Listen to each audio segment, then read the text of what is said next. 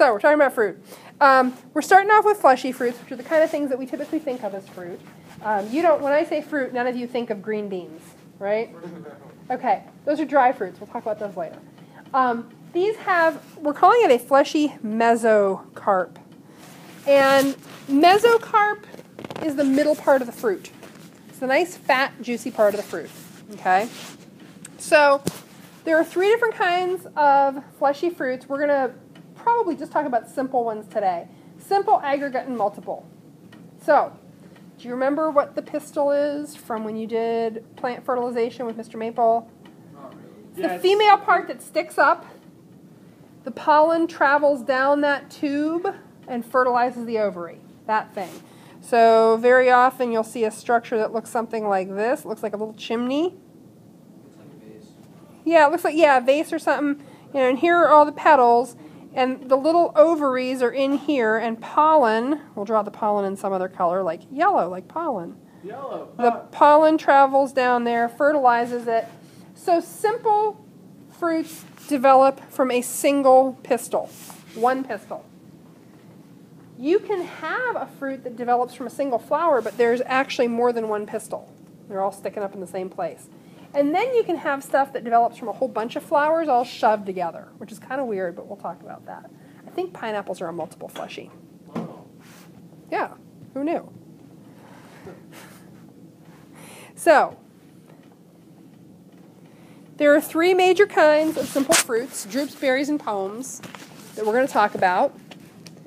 Drupes have a single seed and it has a hard outer covering. Did I miss a slide? So we've got the three regions exocarp, mesocarp, endocarp. We've got the seed in the middle. Lump them all together, they're the pericarp. So, drupes have a single seed, and the endocarp is hard. Which one of those do you think might be a drupe? A droop. Mhm, Uh, Single seed. So right. look at those three pictures. Agree with the people at your table. Ashley, you can agree with somebody sitting near you. So, which one do you think is a drupe? Single, single. Single seed hard endocarp. If you need a refresher, the endocarp is that boundary between the fleshy part and the seed. Okay, Do you think it's the bottom right? Uh, single seed. I think it is. Would you say it's the mango? Yes. Yes, it is. That's a mango. It's got a single seed. Of course you knew that. Of course you knew that. Um, it's got a single seed, and we will see a mango seed tomorrow. Um, we'll get to touch it and squeeze it. We'll try to get it to germinate. We'll try to grow it. Dean, I think that just for the mango alone, you should come here. Um, Why can't you? oh, I'm sorry. I'm sorry. Um, so berries, single or multiple seeds, fleshy pericarp. Well, let's look back. What's the pericarp? All that stuff. Single or multiple seeds, but it's got a juicy, fleshy pericarp. Which one do you think that is? It's got a juicy what? Juicy, fleshy pericarp. Hair carved. Mm-hmm. Yeah, yeah. It's grape. Yeah. Grapes or berries. Yeah. So there's no bound. There's no um, the whole pericarp. Everything outside the seed is juicy. There's not like a pit that you hit like you do with a peach or a plum. And then pomes are fleshy. But the weird part is that the flesh isn't the actual ovary. The flesh is tissue that is around the ovary. And there's a boundary that's sort of leathery. There's only one left, obviously. An apple. The apple. So who here has bit too far into an apple and gotten a chunk of core? I have. Okay, I hate that. it okay to eat the It core? irritates me. Well, you probably shouldn't eat a whole lot of the seeds, but no, it's not going to hurt you. That leathery boundary that you hit and you're like, my, my daughter freaks out completely if she hits that. That's the endocarp. That's the boundary where the seeds are inside it. So what we think of as the core in a pome is actually the endocarp. Okay. Not like, oh, you look a little droopy today, but it's a drupe. A cherry. So, cherries, apricots, actually not avocados. That's what I, I seen that. It's got a single seed, but but that's a that's a fantastic mistake because I have made that myself. The key is this: the endocarp, the boundary between the seed and the fleshy part is hard. Peaches, plums, cherries. It's got a pit. Um, sometimes these are called stone fruits.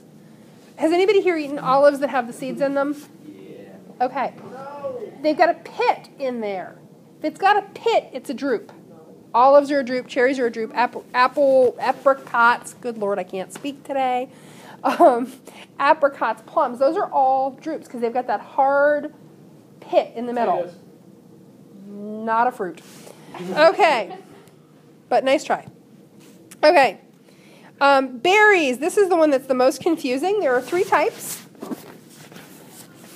No, but we can't. Oh. Um, here's the thing, and Ashley, you and I talked about this yesterday. Strawberries, not berries.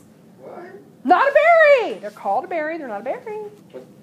They're not a berry botanically.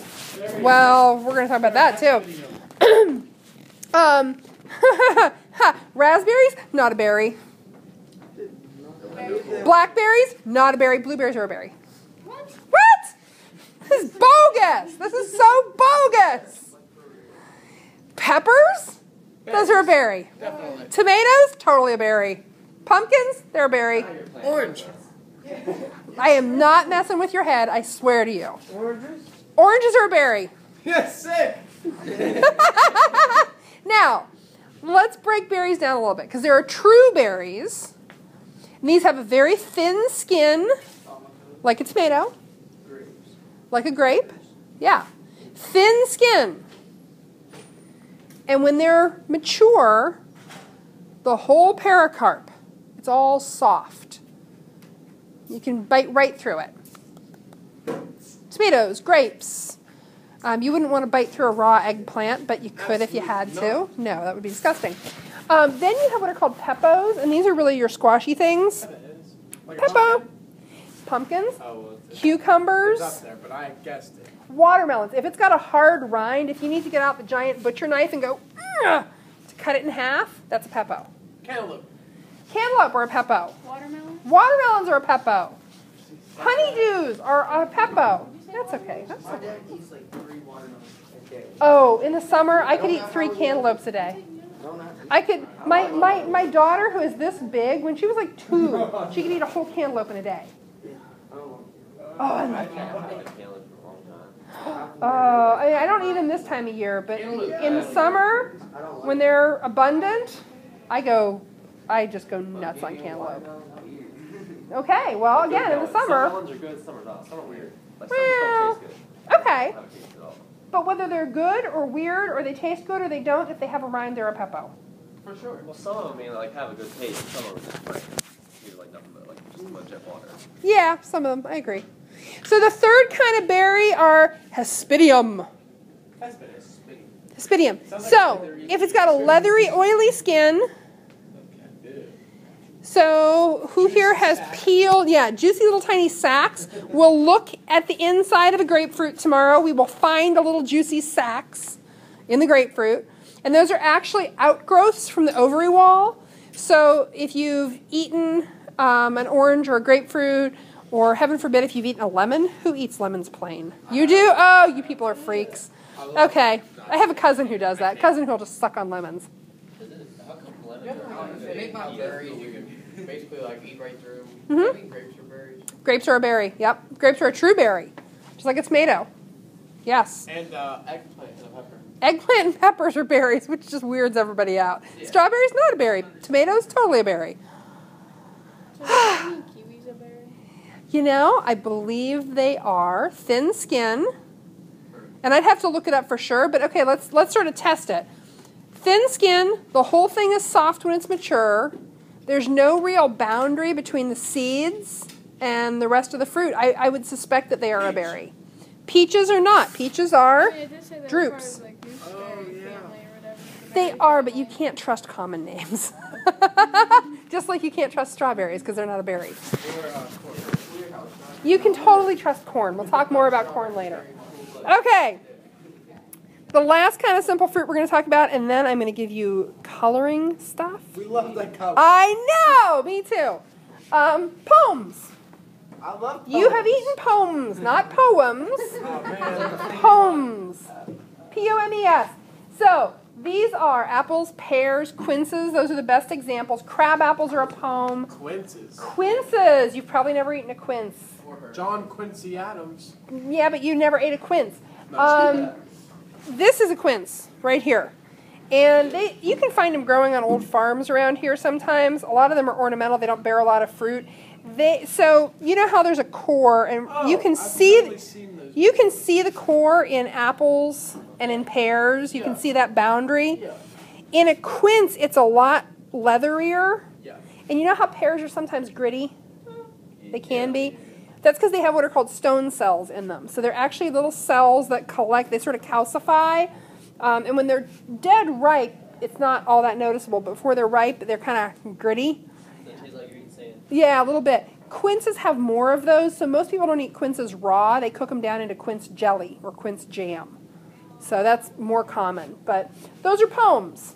Not poems, but pomes. So you can say a poem and eat a pome. At the same time. You could! Oh my gosh. Okay. So, um, I'm going to hand out a coloring sheet. Yeah. Okay. So you've got yeah, it is. It's not it's not super simple.